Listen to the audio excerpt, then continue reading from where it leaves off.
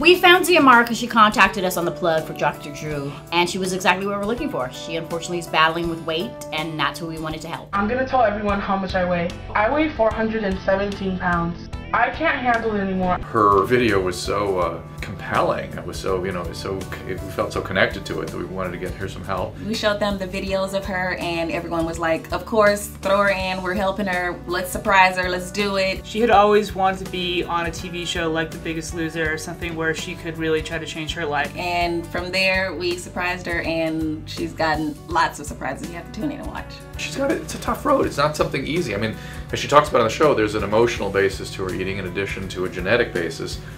And uh, she's got to find that motivation every day to stick with this. You'll truly be inspired by her story. It's going to be a lot of work for her, but continue to watch as she evolves, as she changes, and as she loses weight on lctv.com. She'll be posting her own blog in the ZMR Diary. So make sure you follow her, support her, and um, we're happy to see what happens.